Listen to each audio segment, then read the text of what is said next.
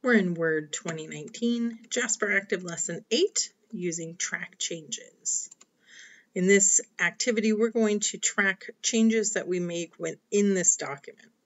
So the first thing I want to do is turn on track changes. So I'm going to go up to my Review tab, to the Tracking group, and I'm going to select the Track Changes icon.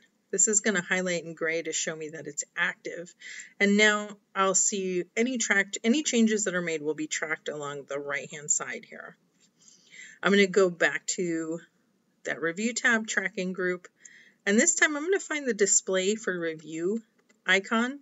And in the drop down, I want to make sure that all markup is selected. Mark is answered. Go to step two. For step two, we're going to make a few changes. Um, so I'm going to go down to the third paragraph, so one, two, three, where it says we've set up drive P. I'm going to select the text drive P by clicking and dragging. And I am, well, first, actually, let's change that. I want to capitalize the D in drive. So I'm just going to select the D in drive, Shift D. And then I want to select drive P all together. So I just clicked and dragged over that. And then I can apply the bold setting either by clicking on that bold on that mini toolbar or control B works as well. And now you're going to see, so first of all, when I made that change in here to drive, you'll see it crosses out the original word and includes the new word. The formatting change that I made is showing up over here on the right. I'm going to scroll down to step two in saving a file that says the more options. I'm going to select the O in options and change that to a lowercase. And again, you'll see when I made a change to the word, it's showing up here in the document.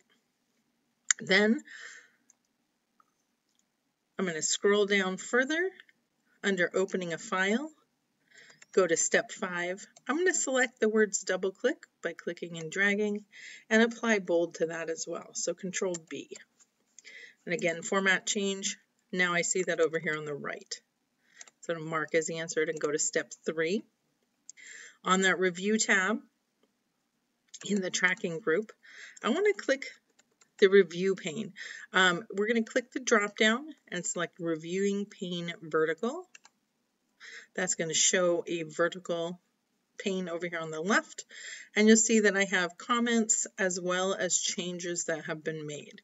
Any changes that are made by me will show up with my name um, otherwise, it will show up with whoever changed the document, which is really helpful when you are doing any kind of collaboration and sharing documents.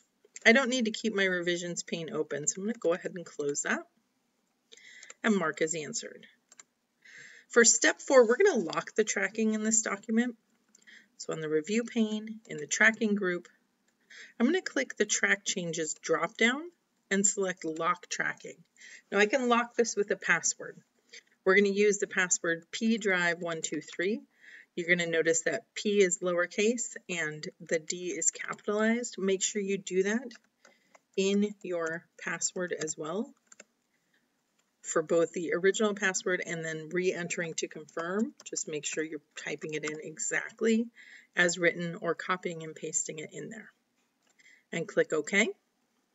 If I click back on tracking, now I'm going to see that my track changes is dimmed. It's not going to allow me to do anything. It's currently disabled because I've locked this document. Mark as answered and go to step five. Now it still allows me to make changes to my document. So I'm going to use the control home function to go to the top. So press and hold control, tap the home key. This should take us right to the top up here.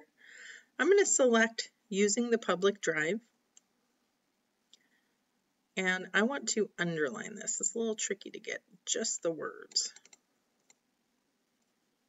There we go. I'm going to go to the Home tab, and in the font group, I'm going to click on Underline. I'm also going to change some spacing. So I'm going to go to the Layout tab, and in the Paragraph group, I'm going to change the after spacing to 12. I'm going to scroll down to step two under saving a file, and I'm going to select the word the and delete that out. And again, you're going to see that it makes that change here. The last thing I need to do is save this document as using the public drive to student. into my um, my projects folder. So I'm going to go to File, Save As, browse to my JasperActive folder, go into my projects, using the public drive to student, and save. And that's all we need to do for this one.